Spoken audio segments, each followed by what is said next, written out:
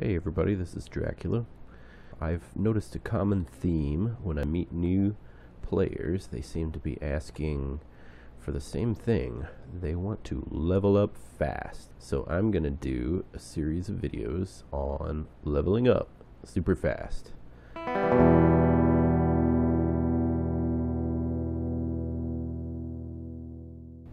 So I'm going to start with uh, some advice to the players, and I'm going to go over to Earth Republic Camp to show you this.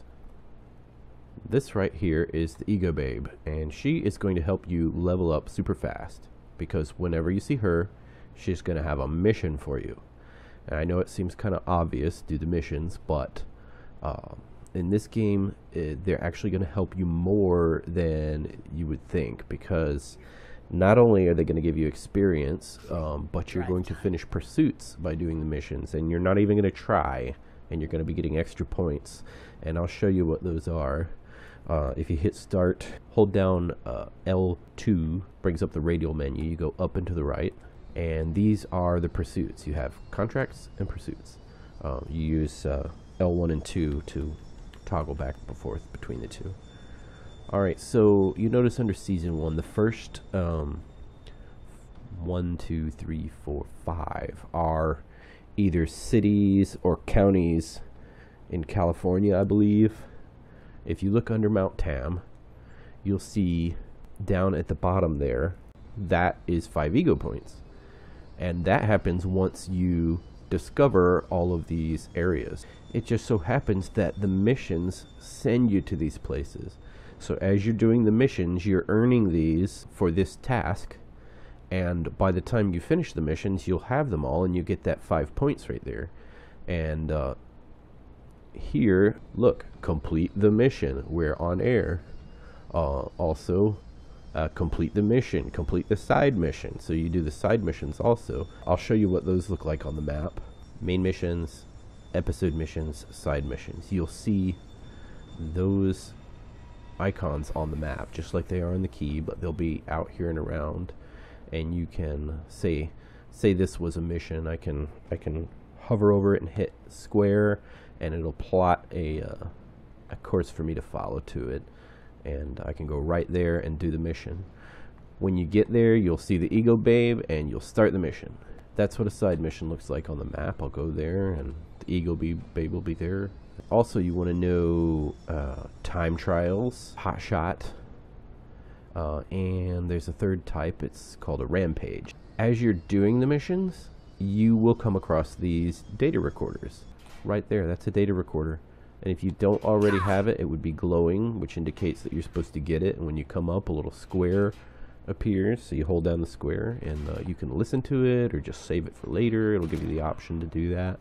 And you can Google the locations if you don't uh, know where they are. You do the time trials, uh, which are uh, racing. Uh, you do the rampages and the hot shots. Hot shots are usually sniping. Rampages are usually something with a shotgun or a, or a light machine gun or something. Notice all of the tasks here are things that you've already done. And then you get this cool intelligent scout outfit and the uh, you know the outfit and the helmet and you get 40 ego points.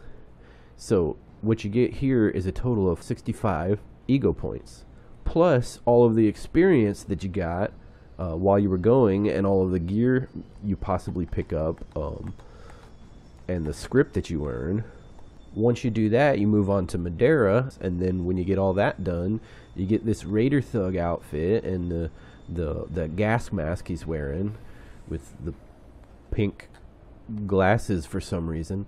And you get another 65 ego points. Marin is actually worth 70 because you find the bridges. There's 14 bridges in Marin. You can Google those.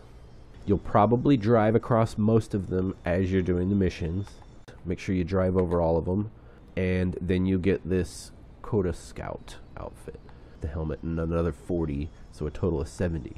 By the time you finish Mount Tam, Madera, Marin, Sausalito, San Francisco, you'll have a total of 330 pursuit points. Those translate exactly to ego points. So you'll have gained an additional 330 ego points as you were doing your missions and getting the experience for doing the missions.